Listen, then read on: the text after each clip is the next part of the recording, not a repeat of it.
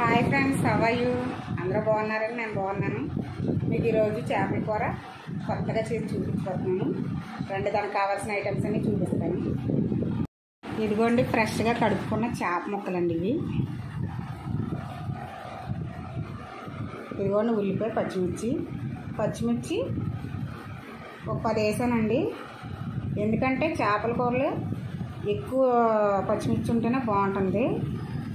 ఘాట్లు పెట్టి ఉంచుకున్నాను. అండి స్టవ్ ఆన్ చేసి బాండి పెట్టుకున్నానండి. రెండు గట్లు వేస్తున్నానండి.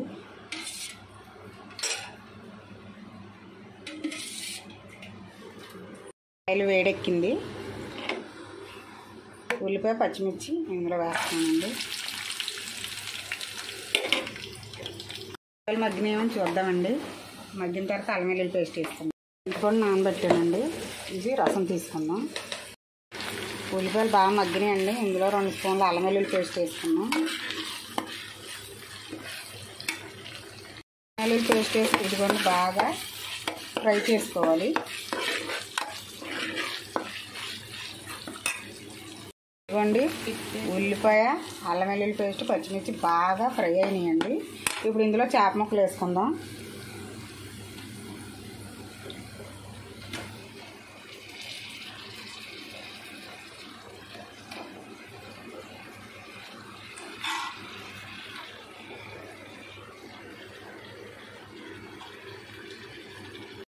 ఇందులో వేసేసుకున్నాం కదా. ఇందులో చిటికెడ పసుపు.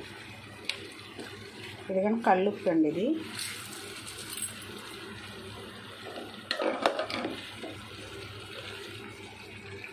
కారం అండి.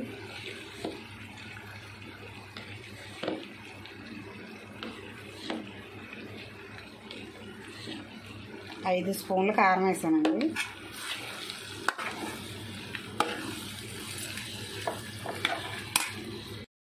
పసుపు ఉప్పు కారం అన్నీ వేసాను కదండి. ఇలా ముక్కలు పట్టిన తర్వాత కొద్దిగా వాటర్ పోస్తున్నానండి. వేసాం కదండి. ఇప్పుడు పది నిమిషాలు మూత పెట్టుకున్నామండి అంతలోకి చింతపండు రసం తీసుకుని మూత వేసుకున్నాను ఇది కొద్దిగా అలా ఉడికింది కదండి. ఇప్పుడు మీకు చూపించిన చింతపండు రసం వేస్తున్నామండి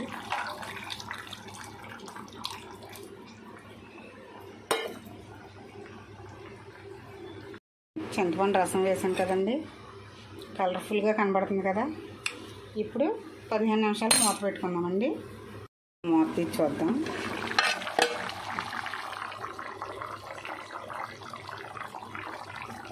చూడండి ఉడికింది కదా. ఇప్పుడు ఇదిగోండి ఉల్లిగొందు. ఇది వేసుకుంటే చాలా టేస్టీగా ఉంటుంది కూర.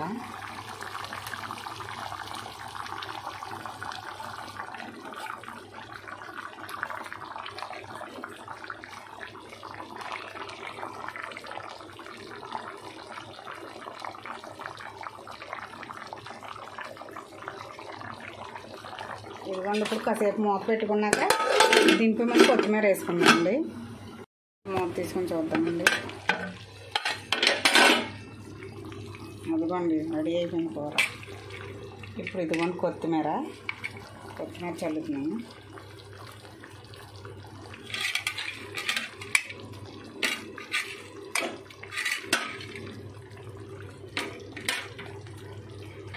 కొత్తిమీర వేసాను చాలా అందంగా కనబడుతుంది కదండి.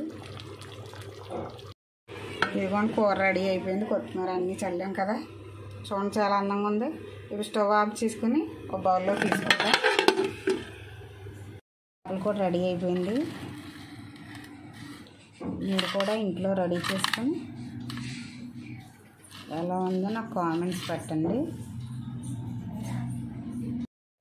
అందరికీ నా వంట నచ్చిందండి చేపల పులుసు. మీ ఇంట్లో కూడా మీరు ప్రిపేర్ చేసుకుని ఎలా ఉందో నాకు కామెంట్ చేయండి. ఫస్ట్ నా ఛానల్ చూసే వాళ్ళందరికీ కూడా సబ్స్క్రైబ్ చేసుకోండి. లైక్ చేయండి షేర్ చేయండి కామెంట్స్ పెట్టండి మంచి మంచి కామెంట్స్ పెట్టండి. నేను మీ అందరికీ ఇంకా ఇంకా బోల్ వంటలు చూపిస్తానండి.